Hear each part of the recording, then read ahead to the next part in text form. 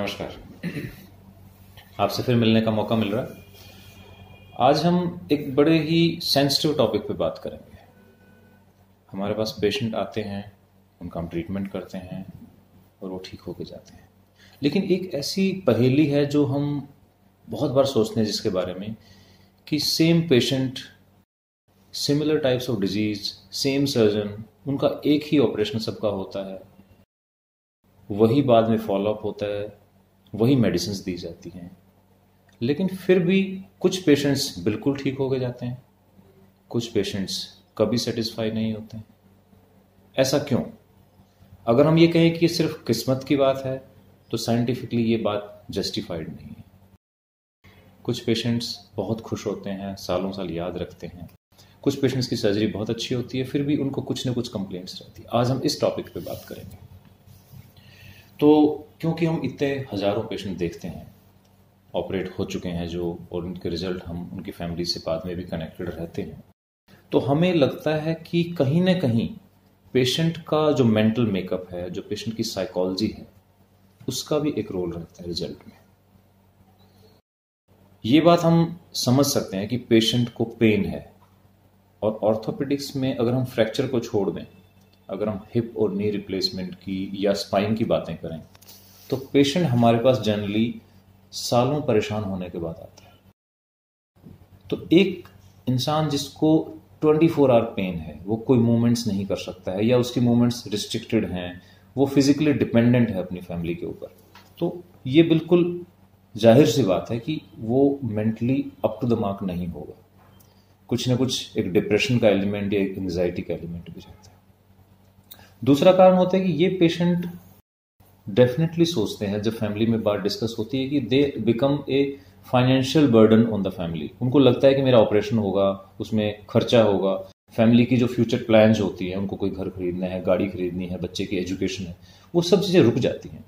और सब लोग पेशेंट को अगर मिलने भी जाना है डॉक्टर को विज़िट भी करना है तो पूरी फैमिली के मेंबर्स गाड़ी लेकर उनके साथ जा रहे हैं, उनका टाइम भी इन्वेस्ट होता है।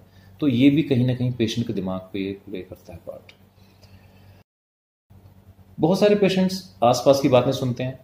ऐसे लोगों से बात हो जाती है उनकी जो किसी वजह से नेगेटिवली इंक्लाइंड हैं, जिनके रिजल्ट्स अच्छे नहीं रहे हैं तो वो कहते हैं, कभी ऑपरेशन मत कराना। ऑपरेशन के बाद आप पहले से भी खराब हो जाओगे। तो ये चीज़ें भी सोचने की हैं। और वर्स्ट हमारे पास कुछ पेशेंट ऐसे भी आते हैं जिनकी पहले ऑपरेशन हो चुका है, जो कि फेल हो गया तो ऐसे पेशेंट इमोशनली फाइनेंशियली पूरी तरह ड्रेन्ड होते हैं। तो इसमें हम क्या मदद कर सकते हैं पेशेंट की? इसमें हमारा भी रोल है means the medical team the surgical team and family का भी रोल है। फैमिली को, क्योंकि देखिए फैमिली पेशेंट के साथ ज़्यादा वक्त गुजारती है। पेशेंट डॉक्टर से मिलने आता है तो maximum fifteen minutes half an hour इतनी देर हम बात कर पाते हैं, समझा सकते हैं पेशेंट को। लेकिन फैमिली उनके पास सारा दिन रहती है ट्वेंटी फोर आवर्स तो फैमिली के जो क्लोज मेंबर्स हैं, उनका रोल है कि उनको पेशेंट को बूस्ट करना है, उसका मोरल बूस्ट करना है, उनको बार बार समझाना है कि ऐसा कुछ नहीं है, आप ठीक हो जाएँगे। फैमिली सपोर्ट की बहुत ज़रूरत है।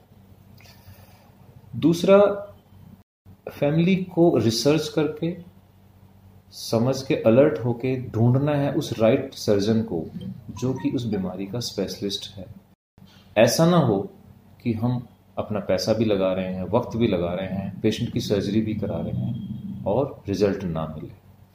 तो ये फैमिली की ड्यूटी है कि वो ठीक जगह पे पहुँचे।